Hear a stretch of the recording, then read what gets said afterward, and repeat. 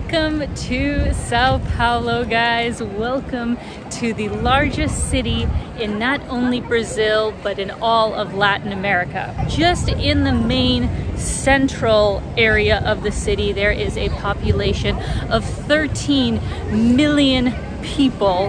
And if you take into consideration the whole metro suburb kind of area, it's closer to 22 million. This is also the financial central business hub of Brazil. When you fly over it, you literally just see like multiple downtown areas with like skyscrapers, really big buildings. It is overwhelming. So where I am walking right now is actually the main street in all of Sao Paulo called Paulista Avenue. Today is a Sunday, so they actually closed down the street for pedestrians, people exercising, and it's just a really great place to go to just take in the sights of the city, people watch, and have a really good time. This is also one of the areas of the city that I would really recommend that you guys get accommodation near if you kind of want to be in a more central area that's easy to walk to places or to take the metro. It's definitely one of the safer parts of the city and I would really recommend it.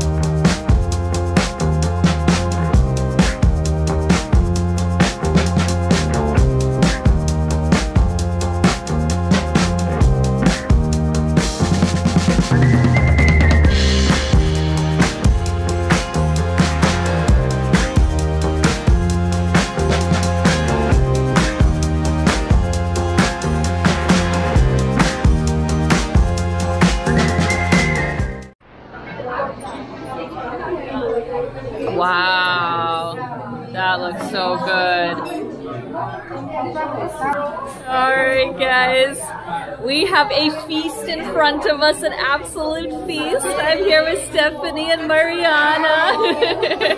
yeah. we actually met on a tour um, Cabo. We were on the same boat trip and they live here in almost Sao Paulo and in Sao Paulo. So I figured that we would get together for a day of adventuring and super delicious food. So ladies, could you tell me what what kind of food do we have here? Like what are these dishes here?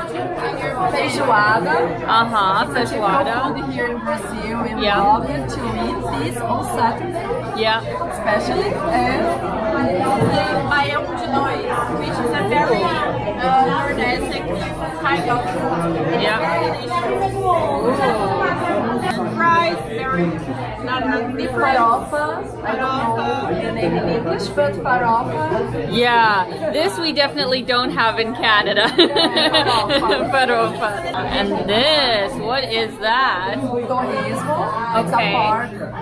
The deep fried one. Uh-huh. Uh, vegetables Yeah. and meat. Lovely. Pork. And we meet this with feijoada. Uh-huh. All together. Wow. I love it. I'm so excited.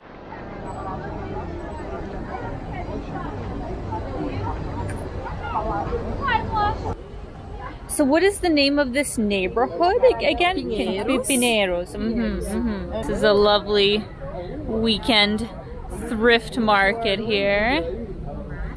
What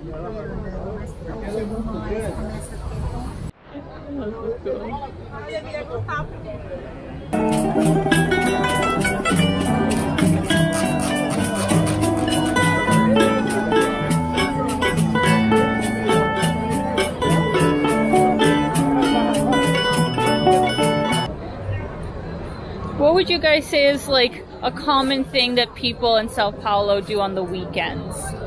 Uh, depends the stage if, if, if the person single or married. True, but true. For our age, Yeah. uh, go to a bar or to the or to the cinema, parks like parks. Uh huh. Uh, have brunch or or lunch. go to some places near but almost on countryside like Ah. Very close, near uh, cities, uh, which you can go like uh, 30 minutes from São Paulo. For Yeah. example.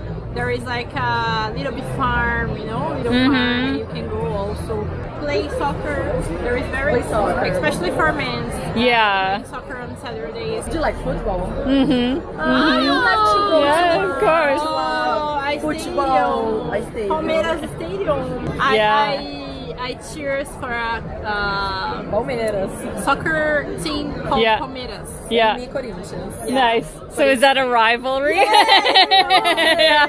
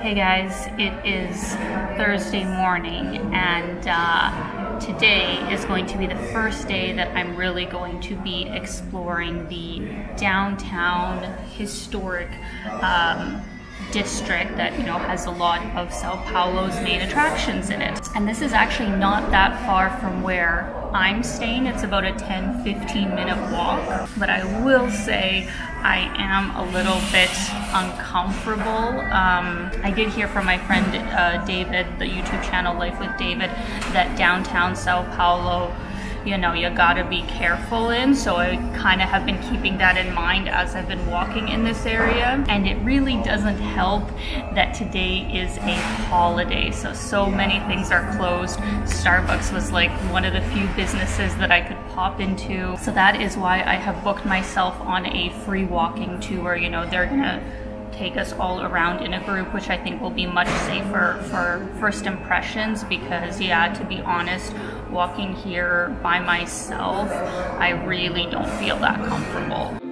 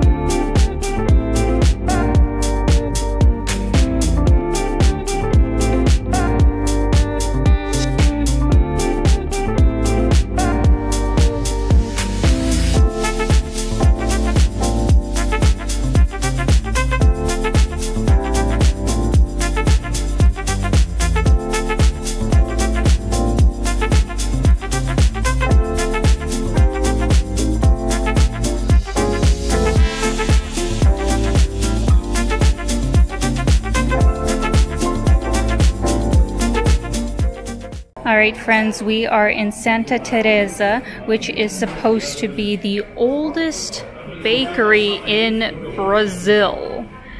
That is absolutely wild. And even on a holiday today, they are still open and they're supposed to have the best coxinhas. Am I pronouncing that right? I hope I am. But it is a Brazilian specialty, which usually has a shredded chicken in the middle, sometimes a sort of cream cheese surrounding it, and then a potato dough that is then deep fried in this sort of teardrop shape.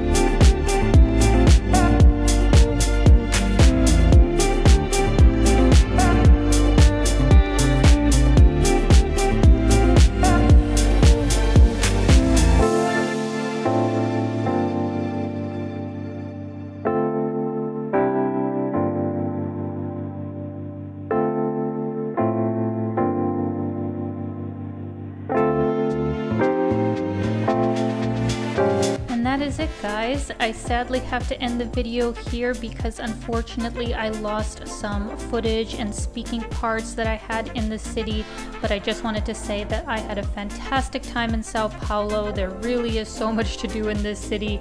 It is enormous, but make sure you stay tuned for my next video, which is also still in Sao Paulo, where I get to go to a very, very special event. So I hope you guys enjoyed this video. Let me know your thoughts in the comments. And as always, keep being your own kind of beautiful. Bye guys.